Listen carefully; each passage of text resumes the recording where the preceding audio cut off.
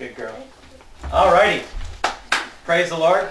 Good to be here this week. Um, uh, had to cancel Bible studies last this last week, um, and uh, so I'm glad to be able to be here tonight and fellowship with you and and uh, share in, in, the Word tonight. And, uh, just give me a prayer. Uh, I just strengthen my inner man. So praise the Lord. Any other prayer requests? Well, I got I got news. My dad is now back home out of out of, out of Cadillac. Good. So I still ask just to pray for his inner inner man. Good. You know, he does he does believe and his faith is in the death, burial, and resurrection. Good. Okay. Anybody else? We need prayer Keep Sheila. Sheila in prayer? Okay. unspoken. Okay. Just keep Brian in prayer all the time. Yeah. You know. And Of Jan. course. Pray for the daycare. Mm-hmm. Jan Johnson. Okay. I don't remember all the names, but Yeah, you know who she is. She was oh, God does. her. I make a special request for a close customer of mine, a guy named Jerry Coiner. okay. All right. Let's pray.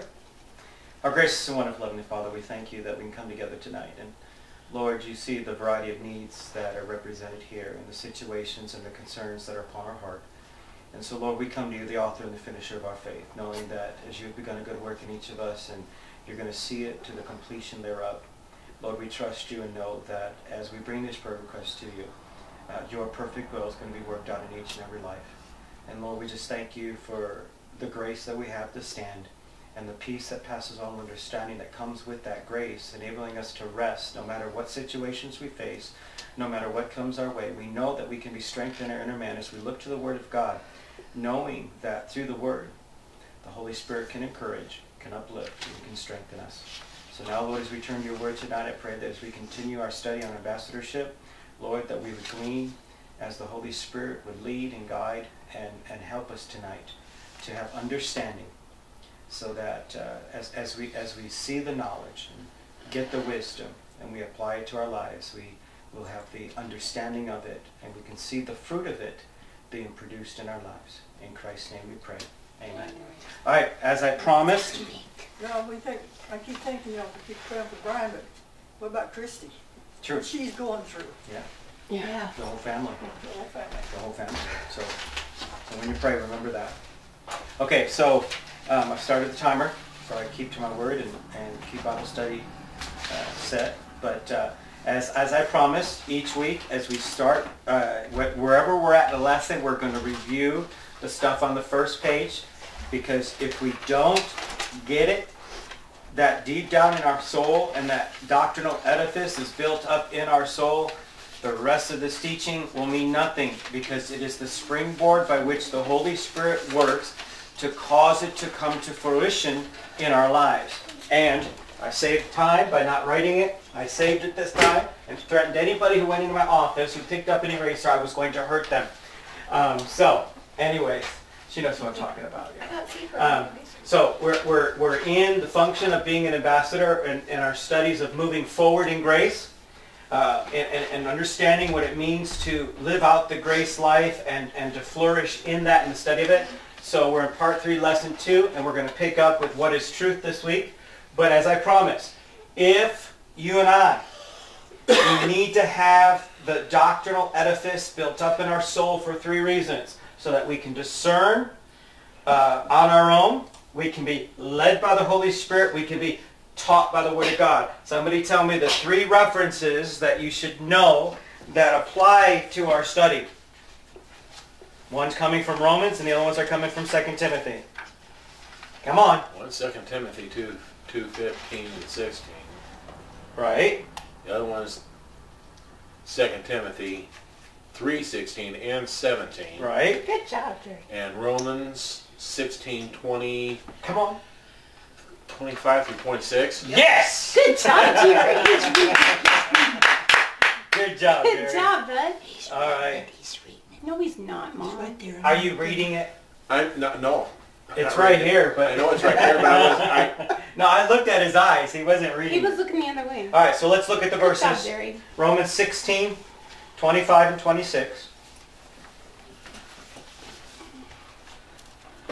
Next week, there'll be a test. Okay? I'm oh, going to ask each of you. Rattle them off. We're at school again, guys. Now it'll come to the point where it's like, not just know the verse, but know the words. What are you looking at? You should already have this in your notes. I'm notes. reading it. I know, but you already have your notes. From last She- time, you could just fill them forgot in. him, remember? Oh, I know, but she could fill them in from home. So, I I mean, you, you're welcome to do that, I'm just saying. All right, so Romans 16, verse 25. There you go. Now to him that is a power to establish you according to my gospel, and the preaching of Jesus Christ according to the revelation of the mystery, which was kept secret since the world began, but now is made manifest and by the scriptures of the prophets, according to the commandments of the everlasting God, made known to all nations for the obedience of faith. You know, I was looking at this verse, and I wanted to give you another nugget to, to help you to remember how all this works together. Who remembers the three aspects of our salvation? Sanctification, Uh, first, justification, sanctification, and glorification. Right, okay. Now, if you apply that to that, those verses, now to him that is of power to establish you according to my gospel, justification, because where do we get our justification? Is putting our faith where? The death, burial, and resurrection. All right, and then, uh, and the preaching of Jesus Christ according to the revelation of the mystery which was kept secret since the world began. Where do we get our doctrine for sanctification? The word. Well, from that revelation. Yeah. Okay?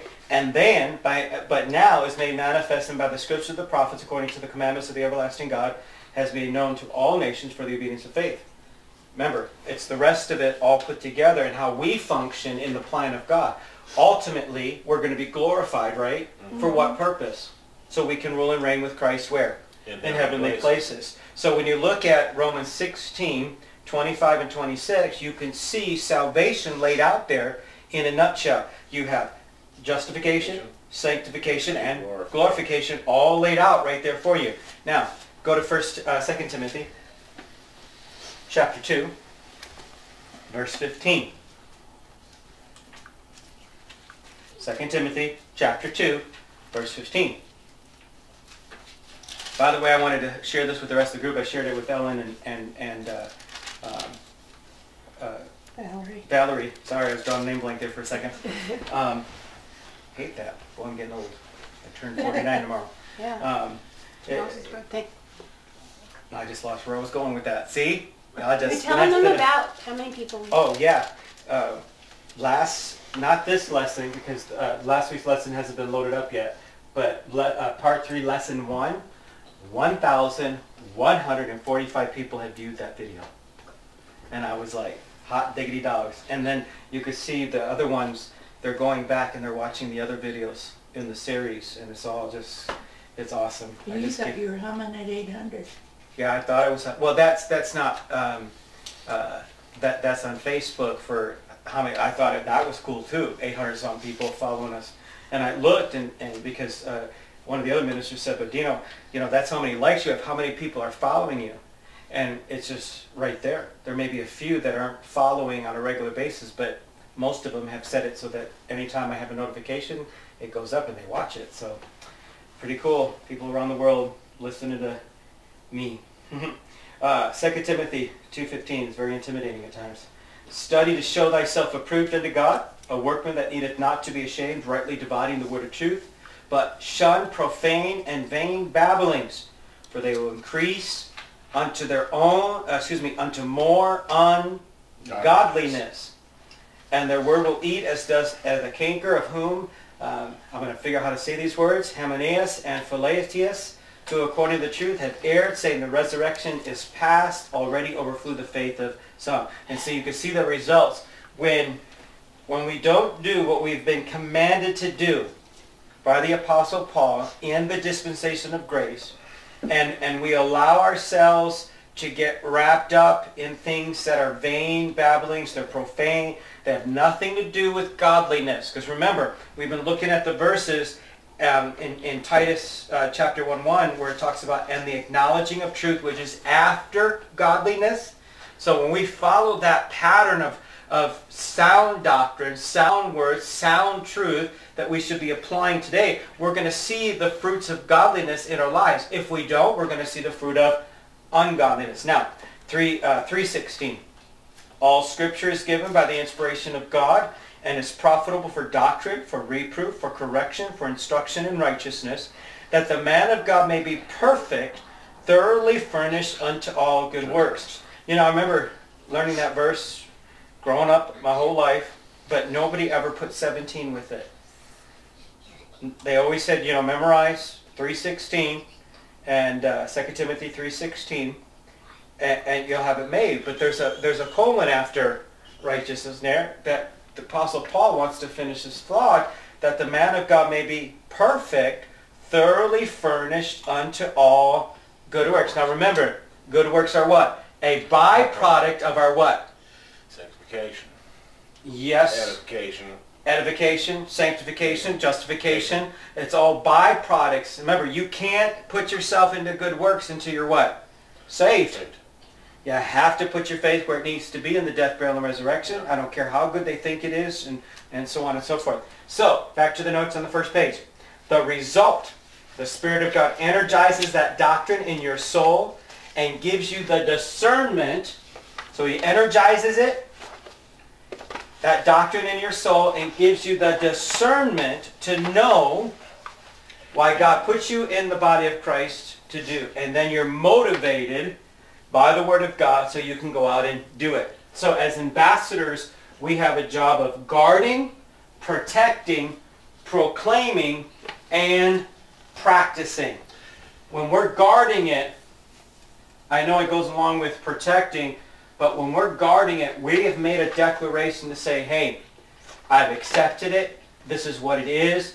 And when there's false doctrines come around, I'm going to know sound doctrine so that I can, in the right kind of, because we looked at this, there needs to be what kind of a spirit. Uh, it, it, and it's all right here in these verses. Go, go back to 2 Timothy 2.25, uh, 2.24. And the servant of the Lord must not strive, but be gentle unto all men, apt to teach patience, in meekness, instructing those that oppose themselves. Remember, we talked about those.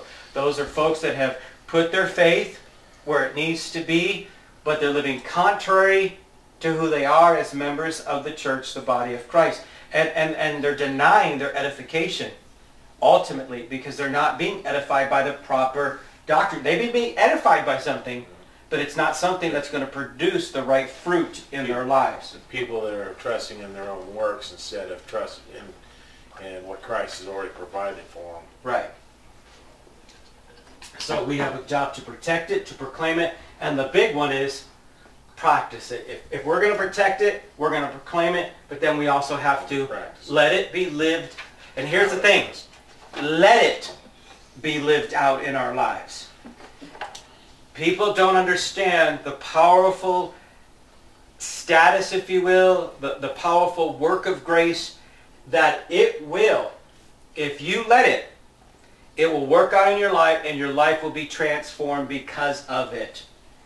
Not because you are doing it, but because the Holy Spirit in you is causing the change that needs to be placed. I mean, ultimately, you remember you were dead and now you've been made Alive. alive and you go from living in the Spirit to Walking in the And yes, you have to apply the Word of God, but the benefit of that is the Holy Spirit then takes it so that you can discern, be led, and be taught. And, and it causes that form of doctrine to be built up in your soul. It can be a wonderful We can't do journey. it because his ways and our ways and thoughts are different. Exactly. All right, now, so we talked about the acknowledging of truth, and so we left off in our lesson under the subtitle, What is Truth?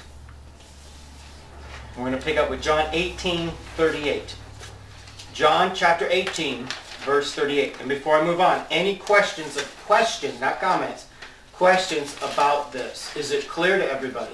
Because again, next week when I start, we're going to take five minutes and we're going to review because if, if, if the more you get it, the better it is. John 18, John 18, verse 38. Pilate saith unto him, What is truth? And when he had said this, he went out again unto the Jews, and saith unto them, I find no fault at all. I find in him no fault at all. So here we have uh, Pontius Pilate, you know, Christ is standing before him. He, you know, the chief priests have delivered him. They're trying to get a, a, a, a, a uh, command for execution. And Pilate's having a private conversation with him. And Pilate asks him, what is truth? Now, when we look at this whole book, is this whole book truth? Yes? Yes, it is. But how do we apply it? That's the question. How do we apply truth? When Christ was walking the earth, he proclaimed truth, did he not? Yes, Yes. he did. But specifically, who was it for?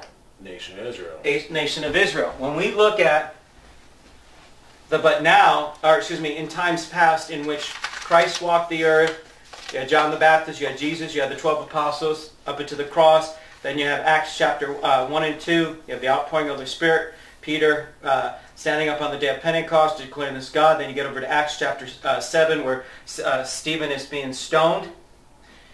You have this declaration of truth. Back here, there was a declaration of truth. Here there's a declaration of truth. Here there's a declaration of truth.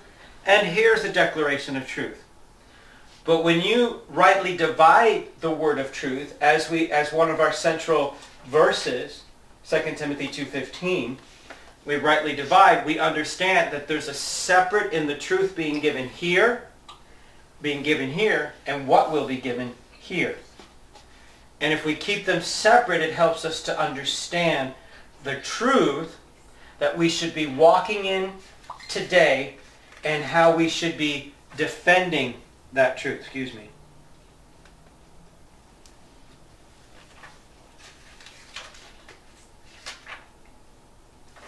Sorry about that, folks.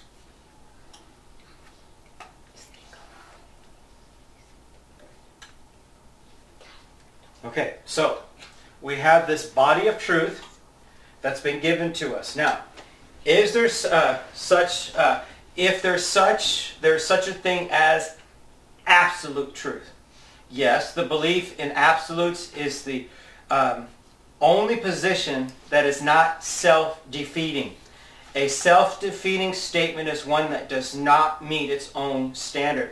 So, you and I have to come to the place, first of all, that this book is absolute truth. We accept it as absolute truth. That it's the Word of God given to us. We have to accept that.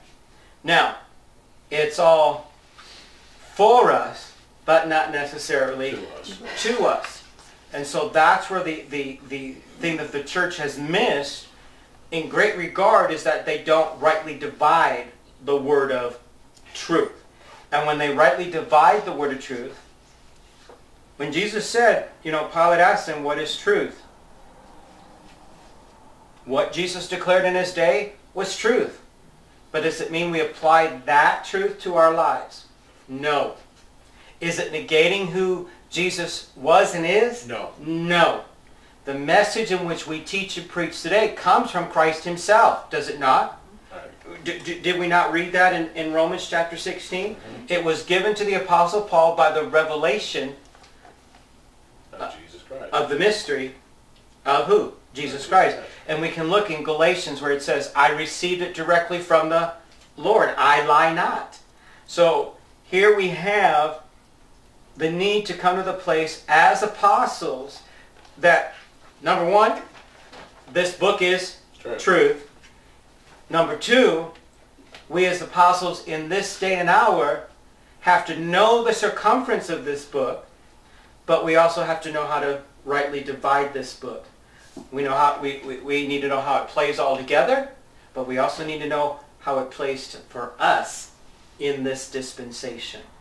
You can't go back in Matthew, Mark, Luke, and John and apply verses to your life. You can't fly with the folks on Facebook and just because they say pray this prayer seven times, I got one of those this week. I about died. And it's from a grace believer. What? S- send, you know, send this forward and you're going to get blessed and blah, blah, blah. The This, end of the day, you're going to have prosperity, this, that, and the other. or, you know, pray, you know, if you believe God can heal, you know, pray this prayer and you're going to get healed, say amen. Bunk. God is not healing in this day and hour. There is no manifestation of healing. If, look, if there was and is, every time we pray for someone's healing, what should happen if we were operating the same way the apostles were operating that was supposed to be passed down to the Gentiles? How should we be operating? That every time we pray for healing, what should happen? Healing. Healing. You get prayer lists, like you said, was yay long, and how many of them have cancer on it? A lot of them. A lot of them. Some of them may be restored back to health through medication and through the wisdom of doctors, but a lot of them are going to what? Dying. End up dying from cancer. And they're going to pray for healing to their last breath and they're not going to get it. And you can't say they're going to get their ultimate healing when they die. That's not true either. The only thing that they're released out of is the, they're released out of this flesh. Their soul and spirit goes to Christ. I guarantee you, if someone dies of cancer, That cancer's still going to be on. that cancer is still going to be with them in the grave. The only way that's going to be changed is when? At The rapture. At the rapture of the church. When this mortality will put on, it's part of the process, folks. It's part of the curse. We can pray for healing till we're blue in the face. God does not heal in the miraculous sense as the same way when Jesus walked the earth and when the 12 apostles were given the authority to cast out demons, to lay hands on the sick and they shall recover. That ministry has been put on hold because the nation of Israel chose not to receive it, chose to reject the message. They fell and diminished in authority. Now the work has been passed on. And that yet we look at the Apostle Paul early on in his ministry, he had the capacity to do what? Healed. heal the sick. They, they took what? Aprons and handkerchiefs off of him. And he, they, you know, they went forth and healed the sick. But there was a time and a place for that. The establishment of the church came that way. The authority of the Gentile church came that way. And most of it was done to provoke who to jealousy during the time of fall and diminishing.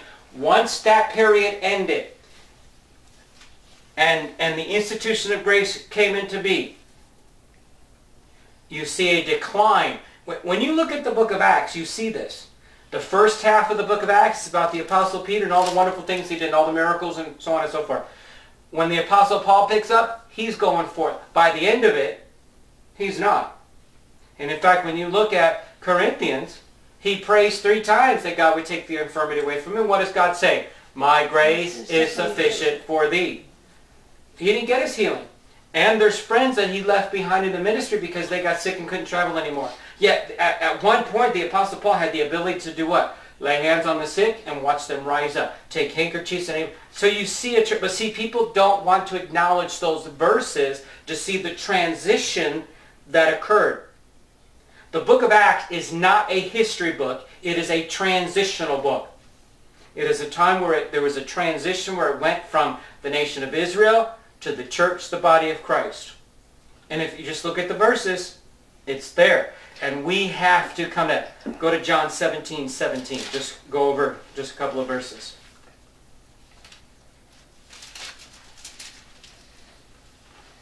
Here Jesus is praying for the 12 apostles.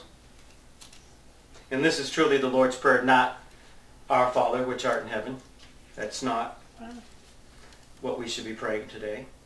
And we look at this, you know, and we come to the realization that Jesus was praying for his disciples and he said, sanctify them through thy truth. Thy word is True. truth. Again, Jesus is acknowledging what? The Word. The word. That it's truth. And we need to accept it as what? Truth. Okay, despite the absurdity of believing that absolute truth does not exist, the culture has embraced the views that something is not true until they what? Choose to believe it. They believe that the act of believing makes things true. Go to Psalms 119. Psalms 119, verse 142.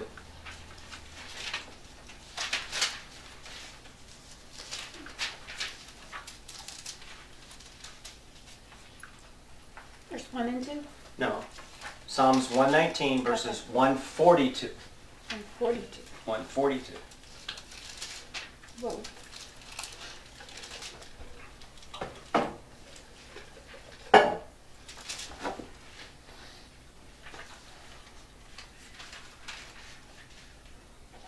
Thy righteousness is an everlasting righteousness, and thy law is the truth. Again, when we examine what the Apostle Paul taught us about the law, go to Romans chapter 7. I know it's not in your notes, but I want you to see this. Because we're talking about the law there. And how it what? The- Thy righteousness is an everlasting righteousness, and thy law is what? Truth. Now, go to Romans starting in chapter 6 and chapter 7, Paul begins to identify how his struggle with is with the law. Now verse chap, chapter chapter 6 verse 6. Knowing this, that our old man is crucified with him, that the body of sin might be what? Destroyed, that henceforth we should not what? Serve sin. For he that is dead is freed from sin. Now if we be dead with Christ, we believe that we shall also what? Live With with, him. Knowing that Christ being raised from the dead dieth no more, die, uh, death hath no more dominion over him. For in that he died, he died unto sin once, but in that he liveth, he liveth unto who? God. God. Likewise, reckon ye also yourselves to be dead unto sin, but alive unto God through Jesus Christ our Lord.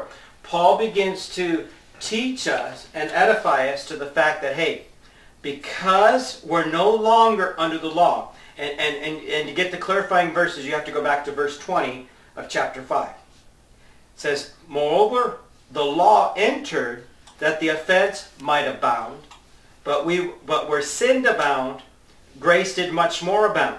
That as sin hath reigned unto death, even so might grace reign through righteousness unto eternal life by Jesus Christ our Lord. Lord. And he goes on, what shall, uh, what shall we say then? Shall we continue in sin that the grace of God uh, may abound? Excuse me, that the grace may abound? God forbid. How shall we that are dead to sin live any longer therein? So, in verse 20, what taught mankind about sin? What's, what does verse 20 say? For when you were the servants of sin, you were... Verse 20? Five oh, twenty. Five twenty. I'm so sorry. We'll just ignore what I just read. What what what entered in? The law. The law. Okay. Now go over to chapter seven.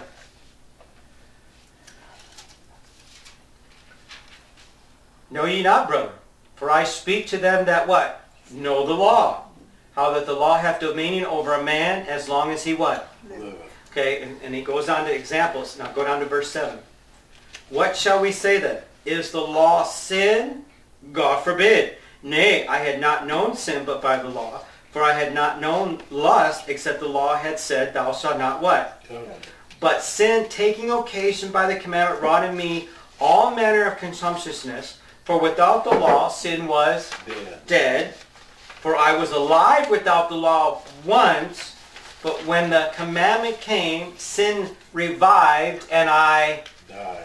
Okay, so there's folks that want to tell you that you have to follow Matthew, Mark, Luke, and John. And I tell you, no, and this is why. Jesus came to fulfill what? He tells you he became, came to fulfill what? Law. the law and everything he exonerated in Matthew, Mark, Luke, and John, that he brought to light, brought to truth, reminded them of the truth, was concerning what? The law and the promises made to whom? The Israel. fathers, or the nation of Israel, to Abraham, Isaac, and Jacob, and how they would be beneficiaries of that. And so Romans chapter 6 begins to tell us, hey, we're free from that. We're no longer under the law. We're no longer under its dominion or power. But chapter 7 says, hey, now wait a second here. I got problems. And the reason why all of a sudden Paul had problems is because he put himself back under the what? Law. The law. And he's saying, hey, I don't need to be under this. But, but he wants to remind them. Verse 7, what shall we say then? Is the law sin? God forbid. Nay, I had not known sin but by the law. For I had not known lust except the law had what? Said, thou shalt not covet. And so he's going, no, wait a second here. I've been free from this stuff. Now I feel the bondage again.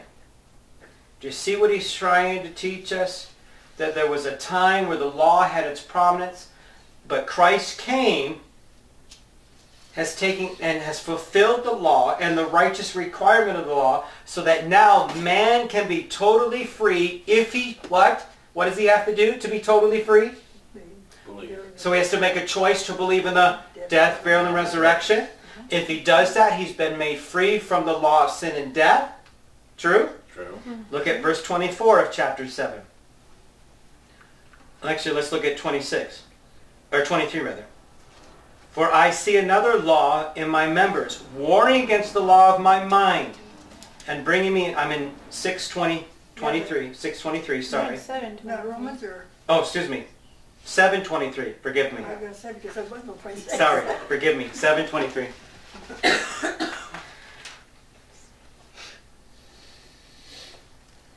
For I see another law in my members warring against the law of my mind, and bringing me into captivity to the law of sin which is in my members. O wretched man that I am, who shall deliver me from this body of death? Excuse me, from the body of this death. I thank God through Jesus Christ our Lord. So then with the mind I myself serve the law of God, but with the flesh the law of sin.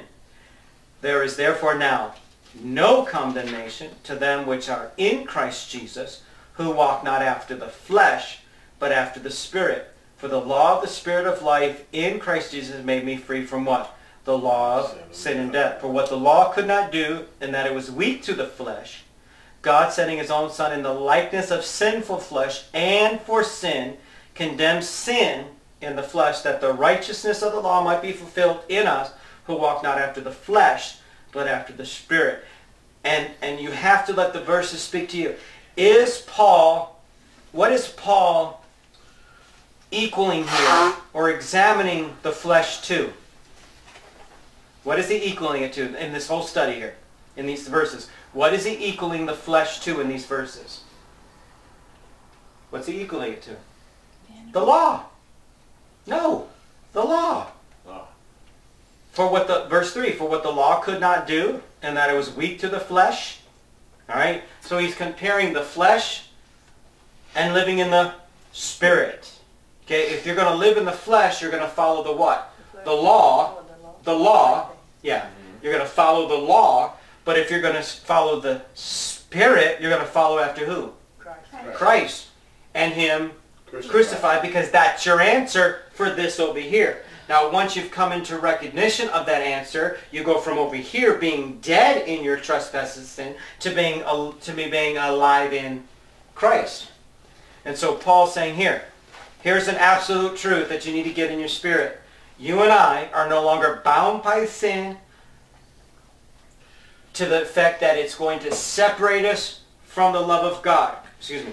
Christ took care of that so that would no longer be the issue that separated us from Christ. Are you and I going to still struggle with sin? Yes. The only and the only time sin is going to be completely dealt with is when this body of sin is changed. Okay? Paul's what what it what it what it what look it says verse 23 again. Or actually verse 22. For I delight in the law of God after the inner man. But I see another law in my members. Now, you have to look at the verses and put it all in context of what Paul is talking about in verse 22. He's talking about verse 2 of chapter 8. The law of what? Life of Christ has made me free. Isn't that a law we're under now? Mm-hmm. That's a command. That's an ordinance of God. Well, wrong word. That's a command. That's a law established by God that the law of the Spirit of life in Christ Jesus has made me free from the law of what? sin and death. All right, so for I de- now go back to verse 22 with that insight of chapter 7. For I delight in the law of God after what? The The inner man. But I see another law in my what? Members. He's talking about his his flesh. Warning against the law of his what? Mind. Mind and bringing me into captivity to the law of sin which is in my where's it at? It's in his flesh. It's still going to be stuck in his flesh. But the law of the Spirit tells him in his inner man, he's been what? Set free from that. Do you see that? Isn't that powerful? And that's an absolute truth that we need to get down in our spirits because if we're going to teach grace in this day and hour, we need to teach the life that follows putting your faith in the death, burial, and resurrection. Because yes, there's a lot of folks who have put their faith right here. They have put their faith in the death, burial, and resurrection. They understand the atoning work of Calvary. They cherish it. They love it. But they've been failed. The church has failed to teach them how to live out this life. What they've done is reared them back behind the cross on this side and put them back under the law and put them under bondage and fear only to do what Satan wants them to do is to keep them under control. One of the first things that was said to yeah, the first one of the very first things that was said to me by one of the brethren in the church in the Dome Church, brother, you got to be care- uh, be careful about teaching this grace stuff because people get the idea that they can do whatever they want, they can live however they want, and do whatever they want and still be saved.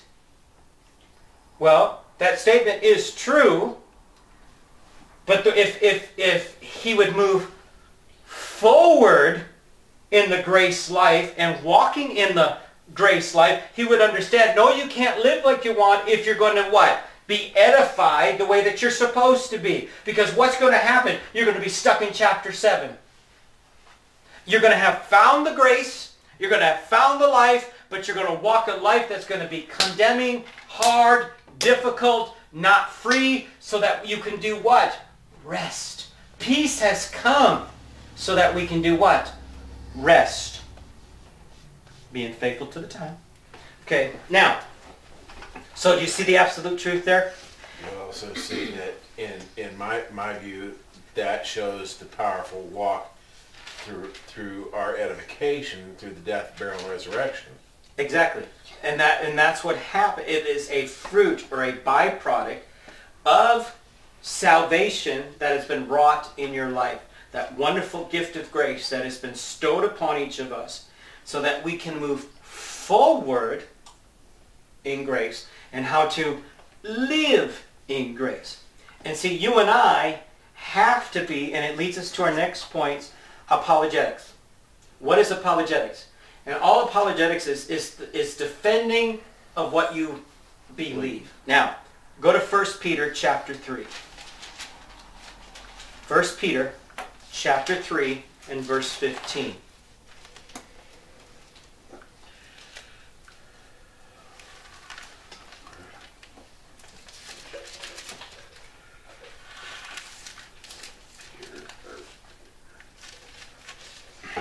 Oh, Pastor, you're going outside of our scope of study.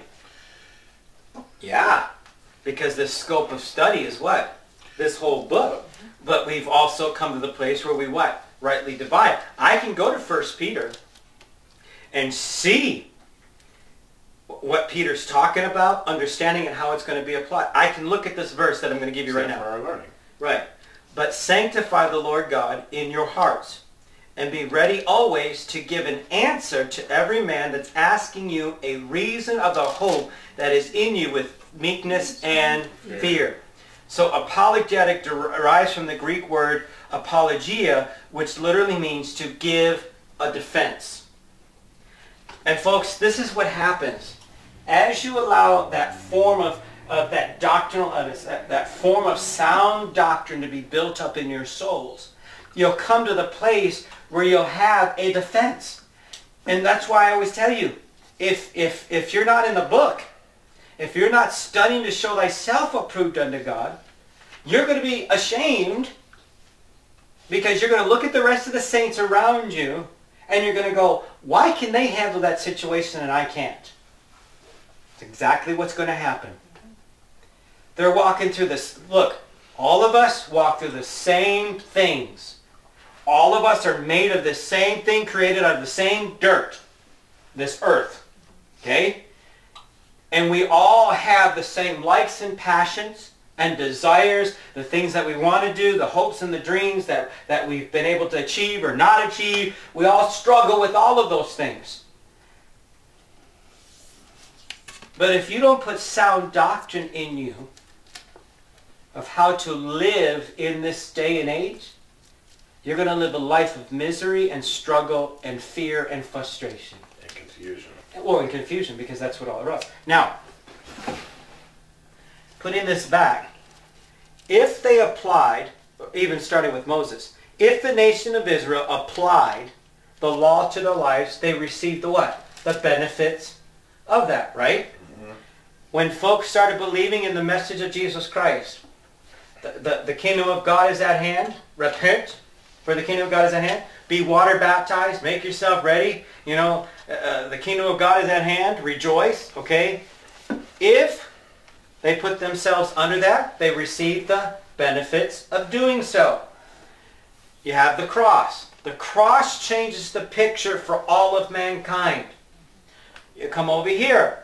If, after the, the resurrection of the Lord and the outpouring of the Holy Spirit in Acts chapter 2, and they started following Peter and the little flock, and, and they got saved under their ministry and followed the things that the, uh, the apostles were teaching, they received the benefits of doing so.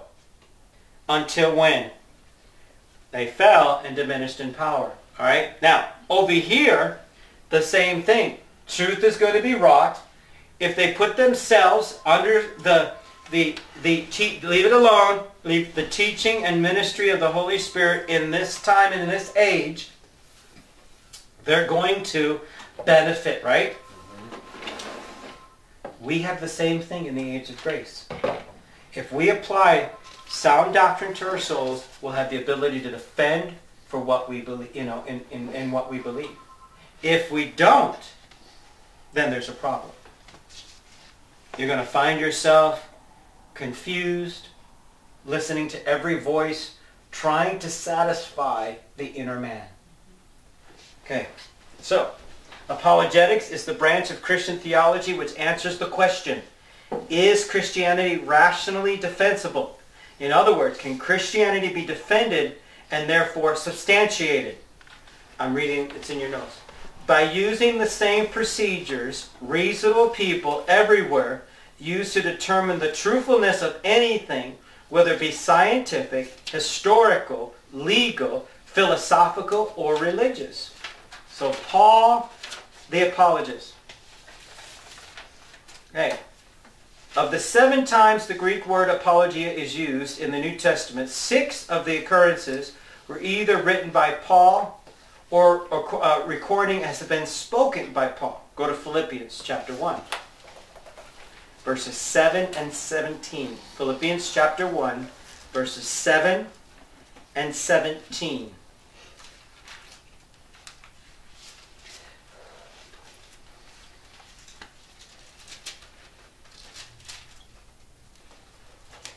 Philippians chapter 1. Oh, chapter one, Yeah, Philippians chapter 1, chapter seven. verse 7 and 17.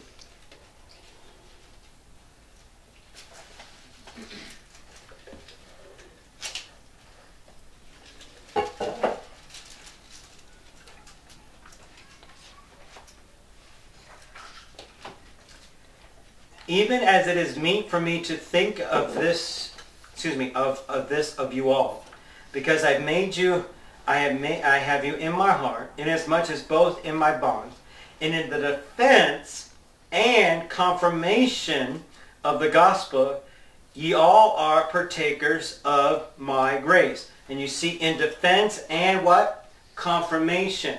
So Paul's saying, hey, in the defense, in, in, in, in that body of truth, there's a confirmation, a confirming in the gospel. It's not confirmation like being slapped on the cheek and, you know, you've been confirmed. Okay? No. It's you accepting what the Apostle Paul has taught as truth. And here the Philippians, they've accepted it. So where does Paul hold them? In his heart. In his heart. He's church. Now look at verse 17. But the other of love, knowing that I am set for the defense of the Gospel. gospel. So he's saying, you know what? I love y'all, but I also have to defend the gospel here. There's a few things he wants to talk to them about. But he's saying, hey, knowing this, it's still out of love, but I got to defend the gospel. Acts chapter 22 verse 1. Go ahead and get 22 in one hand and 25 in the other. And that's where we'll stop for today. Acts chapter 22 and verse 1.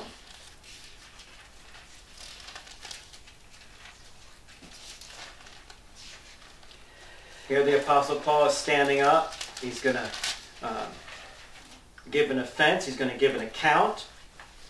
Men, brethren, and fathers, hear ye my defense, which I may make known unto you. Go over to chapter 25 and verse 16.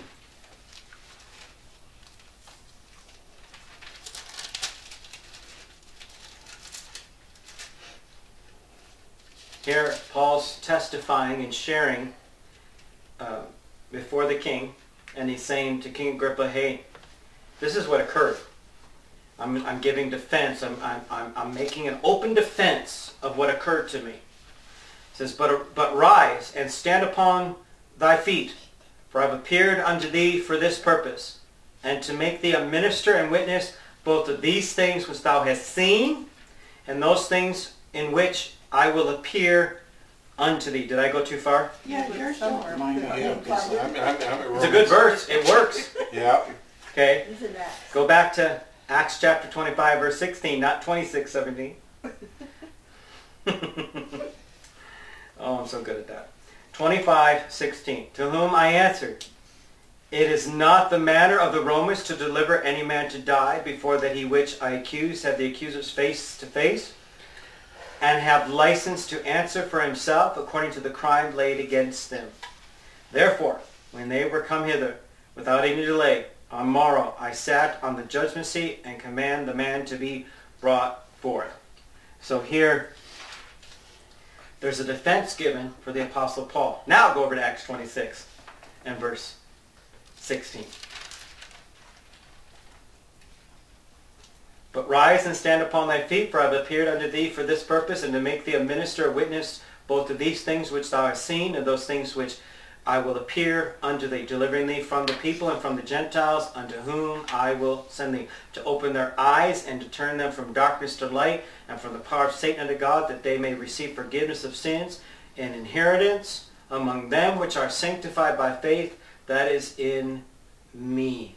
Wherefore, King Agrippa, I was not disobedient unto the heavenly vision, and so on. So he, he lays it out, and he gives a defense for what he believes. As it states in 1 Peter chapter 3 and verse 15, we need to come to the place to give a reason for our hope. With, it, it, let me say it this way. I think a lot of times, in fact, I don't think I know, a lot of times folks will get fearful about defending their faith, afraid that they're going to say the wrong thing. Mm-hmm. This is why over the years I've encouraged you to sit down and maybe in, in, the, in the margin of your Bibles, um, make yourself little note cards, whatever the case is, to have an outline to help you, to prompt you, until it becomes second nature to you. A lot of this teaching now is becoming second nature to me because I'm in it all the time. That's all I want to study. That's all I want to learn. That's all I'm part of. And, and it helps me to put the rest of the book together. I don't fear opening any portion of this book anymore like I did at one time in my life. I told you, before I really got into this, when it came to the end times, I dreaded it. Now I love teaching the end times because it don't scare me anymore. And I don't, I'm not afraid that I'm going to teach something wrong because I can see what's going on. Now I'm not saying that in a braggadocious way. I'm saying it's because the Bible says study to show yourself approved. So you got to come to the place and, and study it. Just a minute, Jerry.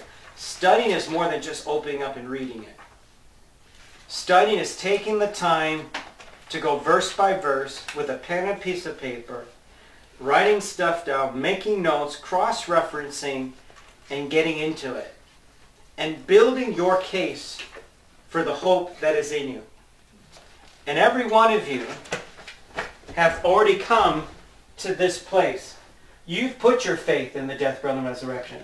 So you have the capacity now to discern, to be led, and to be taught. By who? By the Holy Spirit. By the Holy Spirit. That's key. And how does the Holy Spirit teach today? Do you hear an audible voice from heaven? No. You get No. through the Word. Through the Word. And you'll be energized and have the discernment to know because it'll be built up in you. Folks, you know early on when I when I thought it was necessary to type up notes and stuff, all the spelling errors I had and how afraid I was afraid to uh, teach even sound doctrine. I wanted to make sure I got it right and I was scared as all get. But now look, you know, I double check my work, I look it over there every once in a while there's some typos in there. Uh, you know, it might not always be grammatically correct, but the gist of it's in there. And I've had to come to that place of assurance. And just like somebody that's going to stand up and be a defender of somebody, a lawyer or an attorney, you got to have some knowledge within you. A lawyer just can't stand up in a courtroom and open up his mouth to defend a criminal. That guy's got to know if he's going to build a defense for a criminal, even if all the allegations, all the defenses, and, and, and, and the, the um, Evidence. evidence is up against him, that lawyer's got to know the statutes, got to understand how he can defend this guy and get him off the hook. Now, apply that to our lives with grace. You and I have gotten off the hook. Oh, there's a mounting evidence against us. All of creation cries out against us, groaning for the appearing of the Son of God. And, and, and so there's piled up evidence and Satan's there accusing the brethren and doing everything he can do. And, and, and, and we're hearing all this stuff and we're feeling defeated. But our attorney stands up. And he looks at the judge and he says, Judge, I know the statutes that'll take care of all of that. It's my shed blood. And the Heavenly Father has accepted that as the price to pay for all the accusations of all the sins. See how simple that was? Did I quote any verses? Yes, I did. No, did. Did you hear me go Romans, whatever, and this, that, and the other? That stuff's important, and that'll come to you. But get it inside. I, I, I taught the word, did I not? Yeah. You know, my defense is the cross, the shed blood of Jesus Christ. And this man who sits before you, judge, has put his faith and trust in that. And the statute says, if he does, he's made free from the law of sin and death, and now he lives under a new law. Isn't that good? Mm-hmm. It's good. Okay, and and that's what that's what we all have. And so there is absolute truth, and we have to accept it as absolute truth. We have to trust it as abs- you know. A lot of times we look at the word and we, we look at the verses and, and we apply it to our lives and we're like, no, I don't see the outcome yet. You know, I, I don't see the results yet. You know, I'm I'm struggling with this, Lord, and I'm struggling with that, Lord, and this, that, and the other. You come to enjoy that journey that you're walking through. Because ultimately, the reality is, we're not going to get it all. We're not going to figure it all out. We're going to continuously be learning. Even after the rapture of the church, we're going to be learning. The teaching ministry of the Holy Spirit is not going to stop just because we get raptured out of here. You, you look at what's going to be going down in the earth, and so many folks are, and, and this hit me, because it was one question I had, and I couldn't quite figure it out until I saw the verse. And when I saw the verse, boom, the light bulbs went on. Why in the world, if Jesus has come and has been the ultimate sacrifice for all of mankind, why then, during the millennial reign of Christ, is there going to be sacrifices and stuff going on? Does anybody know in this room? The reason why this, remember, what is going to be the ministry of, of the nation of Israel? They're going to go forth. Each of the 12 apostles is going to have dominion over a portion of the earth, and they're going to go forth and they're going to teach. Okay? If you look at each of the sacrifices and, and, and the things that were set up by God according to the law, each of the sacrifices taught something about God, taught something about Christ, taught something about his grace, his love, his mercy, um, and, and, and the foreshadow. That's all going to be going on. And it hit me like, and the verses are right there. I can't give them to you right now because they're in my studies, but they're in there. And it tells you why. And for years I wrestled with it. Why in the world are they going to start the sacrifices again? Well, It's going to be teaching. There is not going to be any need for a sin offering in the sense that they're applying and asking God to cover their sins. Their sins have already been covered. The, the, the blood has been sprinkled on the mercy seat by this point. Christ is sitting on the throne. He's reigning for a thousand years and his money will reign. The blood is the issue of the, the, the sin offering, but in the offering itself, there's going to be teaching. And they're going to go forth and they're going to teach the nations of the world all about it. You know, you, you have the peace offerings, you, you, you, all the different offerings that are there. They're all going to be reinstituted for teaching. Not that it's going to provide anything of atonement in the sense forgiveness of sins, you know, taking care of this, because that's all been done. But it's going to be for teaching. And it's powerful. And, and then up in, in heavenly places, the Holy Spirit's still going to be teaching us. You know, for year, another thing, for years, we thought, well, how is anybody going to get saved after the rapture of the church because the Holy Spirit stays with the church? The verses don't say that. Doesn't say that at all. We saw this early on. The Holy Spirit's going to pick up where he left off. well, that's a Right reason there. why then. Yeah. Going to pick up where he left off. Not not the reason why the offerings are going to be reinstituted. Yeah. Because Christ has come and the teaching is going to happen. The, the, he, by this point, he sprinkled the blood on the mercy seat. Well, that's going to be included in the teachings. Right. And so here, but the Holy Spirit picks up where he left off. And I'm like, well, the Holy Spirit doesn't go up with us. The Holy Spirit, well, let me, let me correct that. The Holy Spirit does go with us. The Holy Spirit's God. God can't be here and here at the same time. Can't be teaching us up here and down here at the same time. He's omnipresent. Yeah. Christ is going to be up here. Christ is going to be down there. It's like, well, you know, how, are we going to be able to come back and forth? You know, are we going to be up in heavenly places? Are we going to be able to come down to the earthly kingdom and see what's going on? I don't know. Verse doesn't tell us. But if we're going to be like Christ, I imagine we'll have the capacity to do that. Because the Bible says we'll be like him. And, our, and, our, and, our, and we'll have resurrected bodies to do that. So will the folks, when Abraham comes forth and he's ruling and reigning with Christ, do you think he's going to be in his old crusty body that's been dead for all these years? No, he's going to be in a glorified, resurrected body.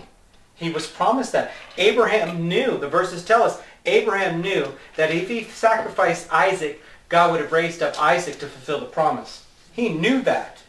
It tells us that in Hebrews. He knew that. He already knew about resurrection for way over here, all the way there from the teachings that he received. Isn't wonderful? That's cool. That's cool stuff. Mm-hmm. Okay, but I can go on and on. And my time is far spent. My alarm's going to go off. Our gracious and wonderful... Well, let me, before I stop, any questions? About absolute truth, understanding that, that as ambassadors, we need to have the ability to defend or be apologetics and defend for what we believe.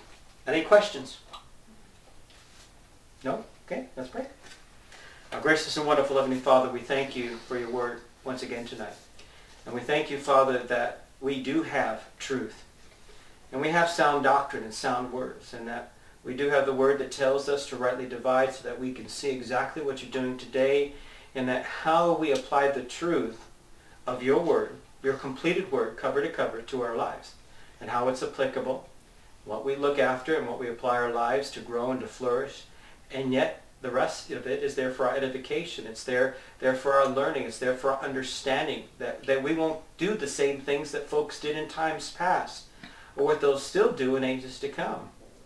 We will have the, we have the capacity now to walk in peace, knowing that you've taken care of the price, knowing that you've taken care of all things. and put all things in order so that we can have that peace that passes all understanding, knowing that nothing will ever separate us from the love of God that is in Christ Jesus. Help us to descend, Lord. In Christ's name we pray. Amen. Okay, so we'll pick up uh, with the evidence necessary for belief. Woo! Just ripped out my notes.